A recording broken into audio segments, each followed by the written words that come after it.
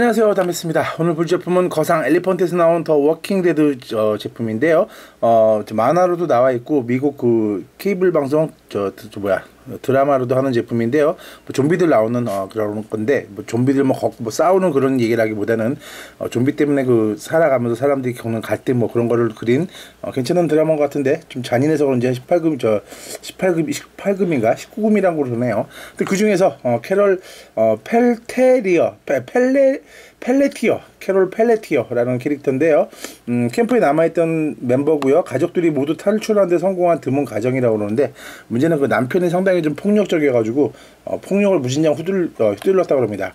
뭐 그런 게 막 너무 짜증나서 나중엔 그, 그 쉐인이 예, 무진장 떡이 되게 만들겠다고 하는데 남편은 뭐 시즌 one 중반에 워커의 습격으로 이제 죽어버렸는데 어, 남편한테 핫 눌러 눌려갖고 산 이유 때문에 좀 유약한 이미지라고 그러네요. 예, 유약한 이미지라고 그러는데 어, 좀 징징거리고 예, 하여튼 뭐 그런 캐릭터라고 그러는데 뭐저 좀 슬픔도 있고 죄책감도 있고 하여튼 뭐 그런 어, 다사다난하고 복, 잡한 어, 캐릭터인 것 같습니다. 자, 어떤 제품인지 한번 보도록 할까요?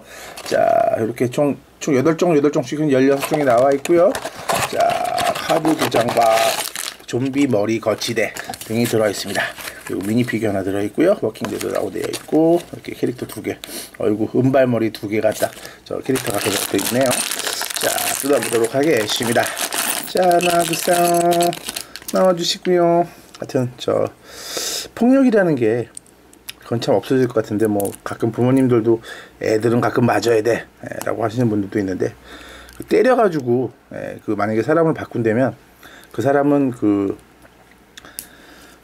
어, 그 뭐라고 할까 바뀔 수도 있겠죠. 바뀌긴 바뀌는데 그게 맞아서 바뀐다는 거는 어, 그 사람이 뭐라고 그럴까 공포나 그런 것 때문에 하는 거지 어, 내가 이거 잘못해서 맞은 건가 네, 그런 생각이 들 수 있으니까 그런 건 안 하시는 게 좋을 것 같아요.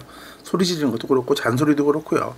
네, 그냥 사람을 설득하고 이해시킬 수 있는 그런 사람들 어, 부모님, 형, 동생 그런 사람들 되셨으면 좋겠습니다. 이렇게 생긴 모습이고요.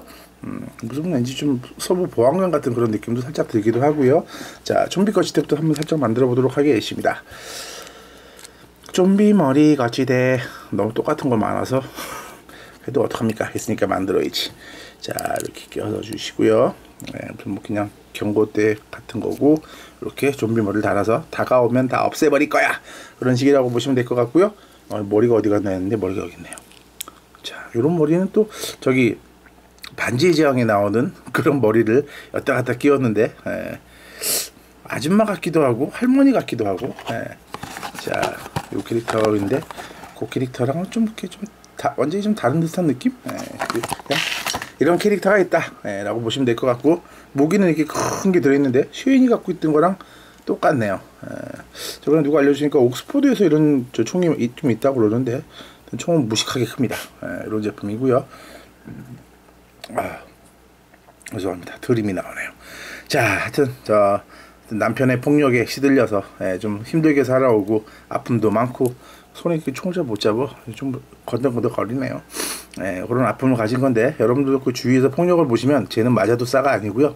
예, 그런 폭력은 진짜 잘못된 거니까 학교 폭력을 비롯해서 가정 폭력 예, 그런 일 절대 없으시고 있으면 가서 다 신고해 버리십시오. 예, 신고하시고 꼭 그런 거 고치셔서 어, 주변에 그럼 절대 그 불상사한 일 없으시고 남들 괴롭히지도 마시고요. 어, 괴롭힘 받지도 마시고 받으시면 신고하시고 음, 주변 사람들한테 도움 청하는 게 가장 도움 좋은 길이니까요. 예, 하여튼 그런 거 잘 현명하게 잘 해결하셔서 불상사 없으시고 그런 것 때문에 이, 아, 이 아줌마처럼 인생을 좀 힘들게 살아가는 그런 일 없으셨으면 절대 좋겠습니다. 참고하시고 오늘 하루도 즐겁고 행복한 하루 되시기 바라겠습니다. 안녕히 계세요. 이런 남편 혼내주러 가야지. 안녕하십니까. 구, 구독하고 추천해주세요. 네, 가자.